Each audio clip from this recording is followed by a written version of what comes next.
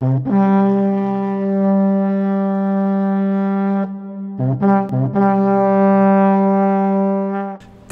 Monroeville, Pennsylvania. Let's go right to the news story to see what they put in a little bit and what they left out a whole lot.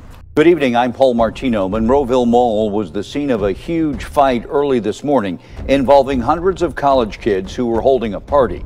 When Monroeville police arrived, someone began firing at the cops. It's not the first time violence has broken out at this mall. Bob Allen now with the story. Police say nearly a thousand college students, many riding school buses, showed up at an all whiteout party last night at Winghart's Burger and Whiskey Bar at the Monroeville Mall. We know three came from California, California University, and we believe other uh, individuals came from Indiana University, IUP, Edinboro, Slippery Rock, um, possibly as far as Gannon up in here. But the fun was short lived.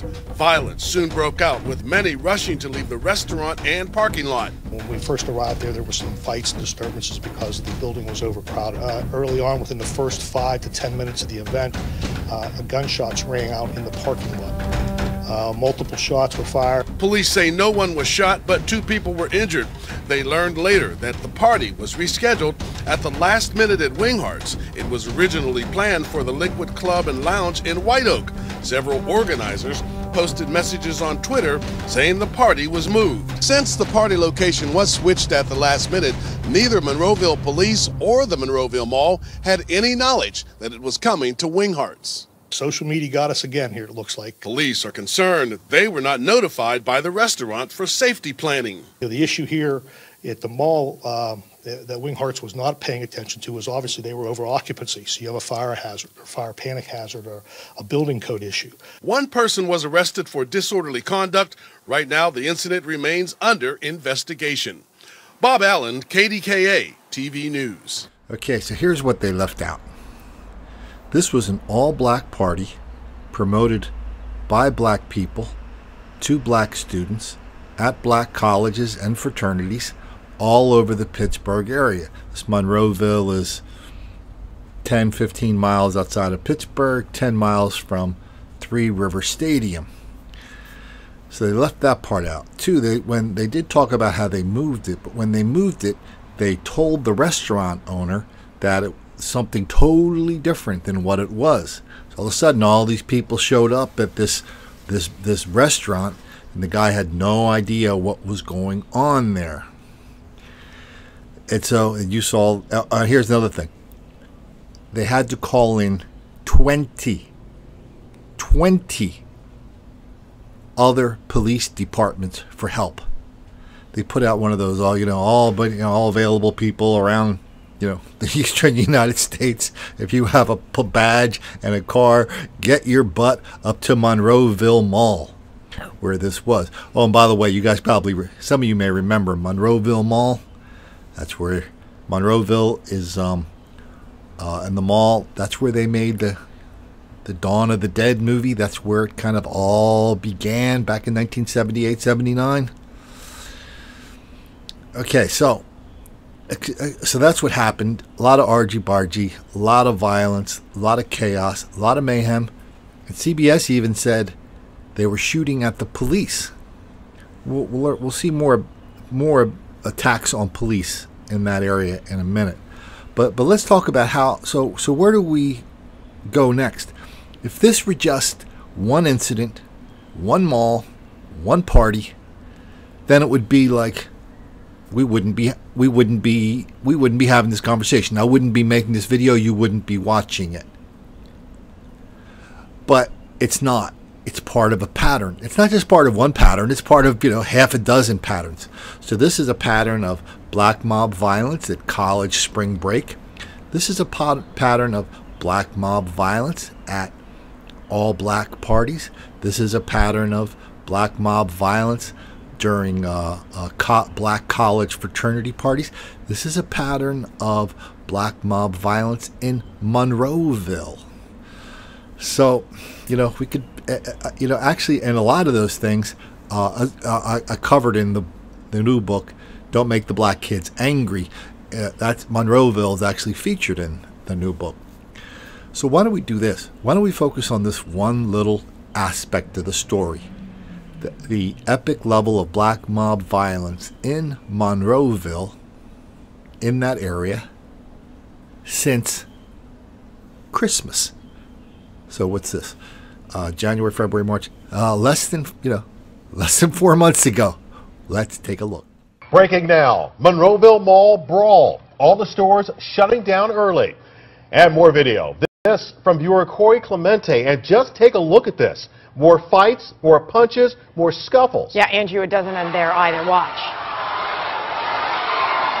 Look at that. More video. This from Cody Brenner tonight. Watch as security runs down the halls as more chaos spills all across the first floor. Look at that. Pittsburgh's Action News 4 reporter Kelly Brennan. Chaos, really, Kelly, the best way to describe it. Yeah, you just talked to police about what started all of this. What in the world went on there? This is one of the many videos that we received from witnesses tonight. Monroeville Police Chief Doug Cole says within three hours, at least six or more fights broke out inside the mall. The first fight happened around 5 o'clock. Things started to die down a little bit, but then more teens started to arrive and it only began to escalate all over again. At least two separate fights ended in injuries with two teenagers uh, taken to Forbes Hospital tonight with injuries that are not life-threatening. Now, Chief Cole says Monroeville called for backup, and as many as five departments had to respond tonight. Mall management decided to close early, starting around 8.30, and in all, police estimate about 1,000 teenagers congregated here throughout the night. That continued uh, to cause more issues in the mall itself with groups moving through the mall. Uh, it appeared to be no set type of a protest, it just that there were many juveniles. And juveniles, I mean the age category of 14 to 19 or 20 years of age. Yeah, there you go. One more look at that incredible video. Certainly a lot more to learn about here, a lot more to come from this, so do stay with us on air. Surveillance video inside the Macy's at the Monroeville Mall gives investigators a clear image of what happened the night of February 8th. According to the DA's office, the alleged shooter is 17-year-old Tarod Thornhill. He's seen here wearing all black with a white belt. They believe he leaves the mall to go outside and get a gun from a vehicle. When he returns, you see a group of males gathering on the left of your screen. Now, in the center aisle are Tom and Mary Singleton and their 13-year-old son. Just ahead of them is 20-year-old Devon Jones. Jones is believed to be the intended target. Just a second later, the first shot is fired, and it appears that Jones takes the first hit. The Singleton family drops to their right as the group of males starts to run. Investigators allege Thornhill is still pointing the gun toward the victims as the group runs out of the store.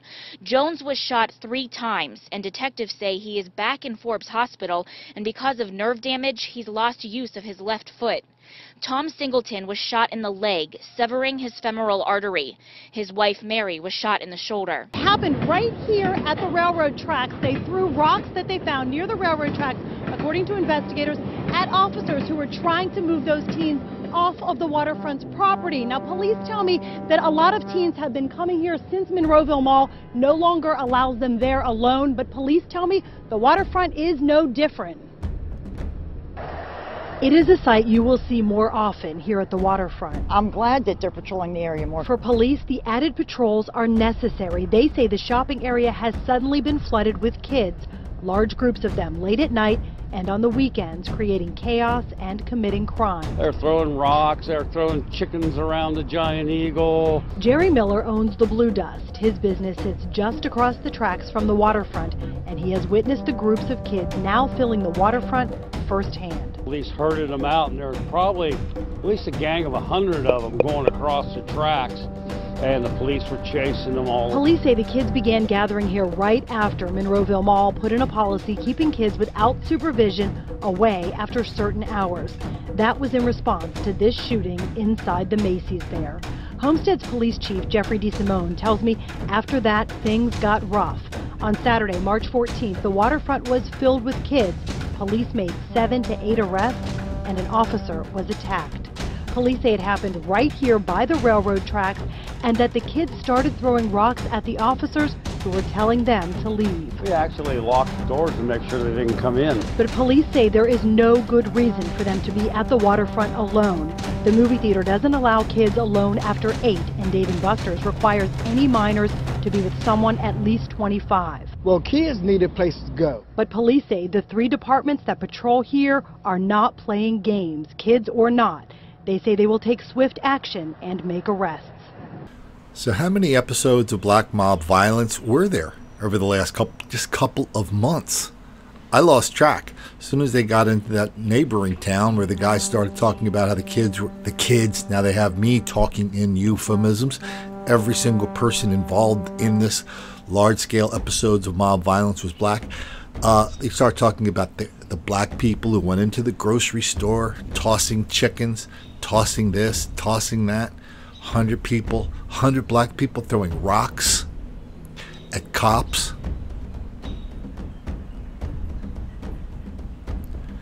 This is Monroeville, Pennsylvania.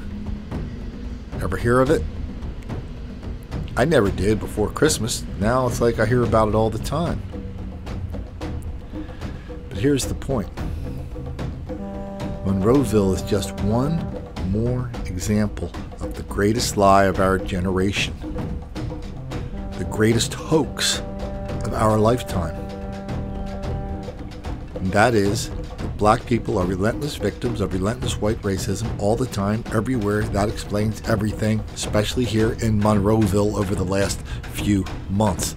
Let's just take, let's look at another example of somebody actually saying that recently feels like open season on black men in America, and I'm outraged. In fact, all Americans are at risk when bad actors in law enforcement use their guns instead of their heads. Despite bipartisan nationwide calls for action, and despite my bills to reform the broken grand jury process, hold police accountable, and end militarization, and despite my colleagues' bills to encourage body cameras, this Congress does nothing. Okay, does anybody remember Congressman Johnson?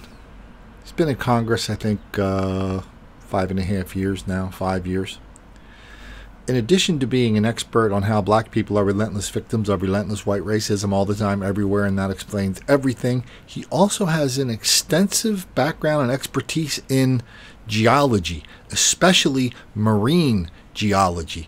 Let's see if you remember um, his testimony uh, as part of a congressional committee.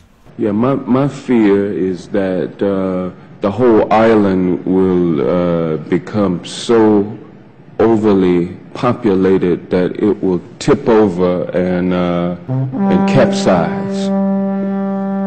Uh, we don't anticipate that. The uh, Okay, so we can have a little bit of fun with Congressman Johnson and what a goofball he is. But here's the point Congressman Johnson may be kind of nutty on the subject of Guam, but on the subject of black people being relentless victims of relentless white racism all the time, everywhere, that explains everything, especially the big bad cops that are always picking on black people for no reason whatsoever.